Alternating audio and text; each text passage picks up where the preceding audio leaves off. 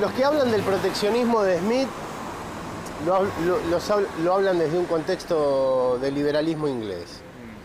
O sea, a lo sumo llegás a un laborismo inglés. Si yo me pongo a comparar cuántos pasos hay de eso a terminar hablando de Marx, son muy pocos.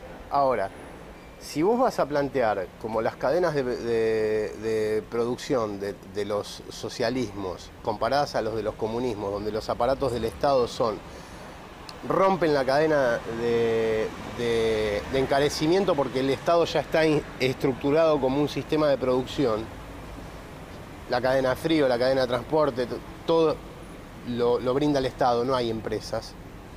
O sea, vos lo comparás a las empresas que vienen a invertir y que vienen a ganar y que patatín patatán.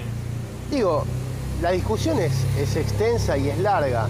Ahora, tenés otros modelos que no son ni una cosa ni la otra, eh, para determinados periodos de crisis o para determinados periodos que van tratando de generar un modelo diferente, ir desarrollándose de otro modo. Y, no sé, yo no puedo creer que las personas que crean los problemas que tenemos actualmente tengan voluntad de crear las soluciones o que tengan capacidad de hacerlo.